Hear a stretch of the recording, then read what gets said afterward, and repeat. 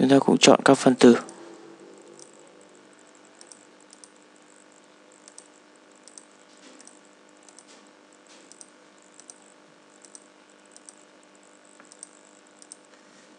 Ok, như vậy chúng ta được làn 4 Chúng ta ấn close lại. Bây giờ chúng ta mới có thể khai báo được hoạt tả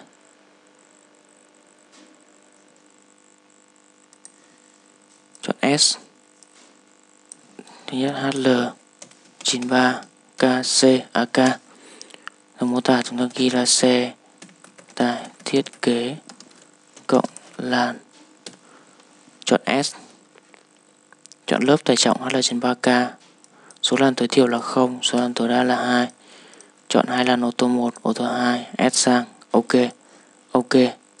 Tương tự chúng ta định nghĩa tải, tải trọng HL93M. Chúng ta mô tả xe hai chục cộng làn. Chọn nút S. Chọn lớp HL93M. Số làn tối đa là 2, chúng ta cũng S 2 làn 1, làn 2 ra OK. Ok. Tương tự chúng ta định nghĩa lớp tải trọng à, ờ, hoạt tải người.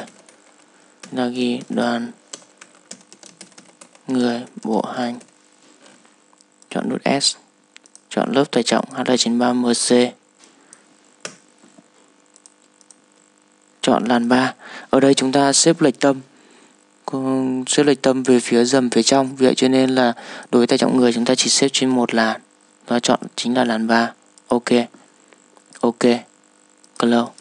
Vậy bây giờ chúng ta cần phải đã gán xong tất cả các vấn đề hoạt tải tính ta. Bây giờ chúng ta cần thành lập tổ tải trọng.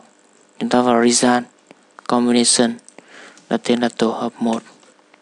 Dòng mô tả là 1,25 tĩnh tải 1 cộng 1,5 tính tại 2 cộng 1,75 HL93K cộng 1,75 người.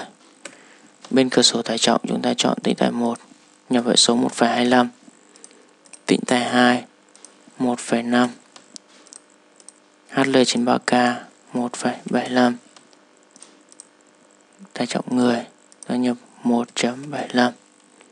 Tương tự chúng ta định nghĩa tổ hợp 2. Tổ hợp 2 mô tả là cũng ghi 1,25 tĩnh ta 1 cộng 1,5 tĩnh ta 2 cộng 1,75 HL93M cộng 1,75 người. Bên cửa sổ tải trọng chúng ta chọn tĩnh tài 1 nhập hệ số 1.25. Tĩnh tải 2 1.5 HL93M 1.75 tải trọng người 1.75 như vậy chúng ta đã có hai tổ hợp, chúng ta có thể kiểm tra lại. Đây là tổ hợp 1, đây là tổ hợp 2. Sau chúng ta close lại. Như vậy chúng ta đã xong. Bây giờ chúng ta có thể chạy chương trình ở F5.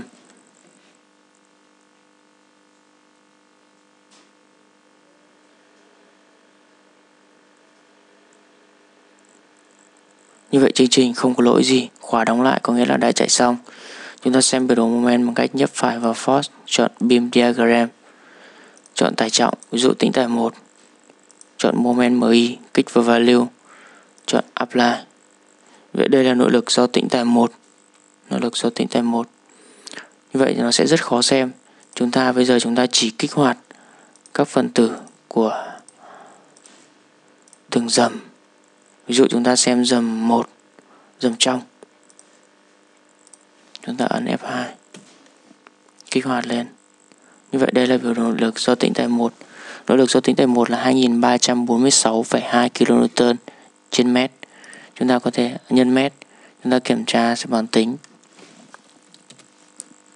Đây là nội lực do tĩnh tại 1 tiêu chuẩn là 2346 trong khi Midas là 2346 như vậy, kết quả tính giữa Midas và Excel là rất chính xác Chúng ta xem nội lực do tính tại 2. Apply. Nội lực do tính tại 2 trong dầm trong cùng là 765. Và kết quả tính của Midas cũng là 765. Như vậy ở của Excel cũng là 765. Như vậy, rất chính xác. Chúng ta xem tổ hợp tải trọng 1 lớn nhất. Apply.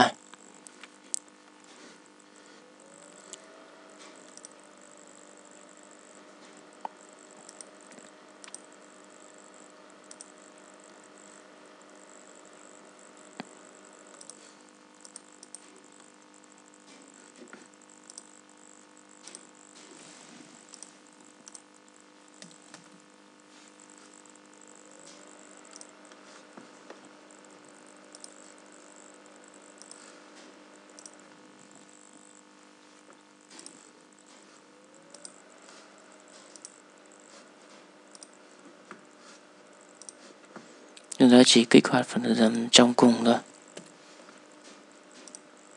Nội, nội lực là 6.000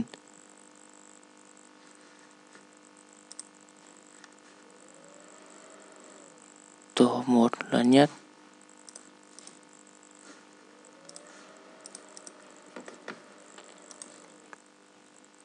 Vậy là chúng ta tạm thời là dừng bài tính toán câu giảm thép liên hợp cùng gian ở đây. Kết quả tính không thật sự chính xác so với Excel.